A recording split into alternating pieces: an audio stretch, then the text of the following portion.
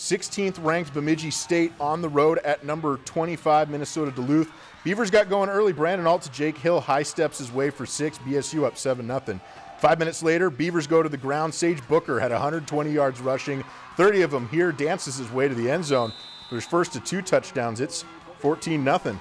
Bulldogs would respond, however, before the end of the first quarter. Kyle Waljasper dumps it to Sam Pitts off the fake end around. UMD cuts the lead in half, 14 7. Second quarter, 14 10 now. BSU racked up 483 total yards just making simple plays like this. Bryce Peters, 16 yards on the swing route. He were out in front all day. Bulldogs tried to make a late rush, but Bemidji State held on to beat Minnesota Duluth 38-31. They're now 7 and 1 and today regional rankings came out. Top 7 teams make the playoffs. They are ranked 7th behind Augustana and Minnesota State.